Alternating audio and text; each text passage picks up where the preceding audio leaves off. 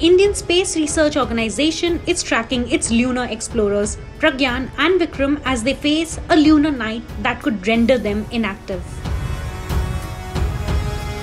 To give you a perspective, on the moon, a single day or night is 14 times longer than on Earth. As the sun sets, temperatures plummet to minus 180 degrees Celsius or more, creating an icy environment far different from the lunar day's scorching heat. This chilly phase will last for 14 Earth days, inducing temporary inactivity in Pragyan and Vikram.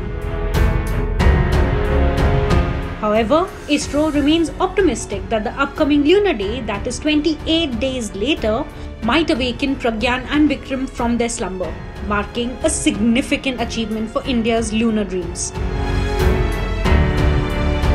During this lunar phase, communication won't cease entirely. Pragyan will stay in touch with its partner, the lander Vikram, which will relay crucial data back to ISRO's Mission Control Center. However, a direct link with the rover will remain dormant, highlighting the challenge posed by lunar nights. ISRO carefully chose August 23rd as the landing date for Vikram, coinciding with the start of a lunar day cycle. The agency had a contingency plan with a landing attempt scheduled for August 24th in case of initial failure. Additional attempts were planned after a complete lunar day and night rotation 29 days later. The successful landing of Pragyan and Vikram is a remarkable achievement for India's lunar aspirations.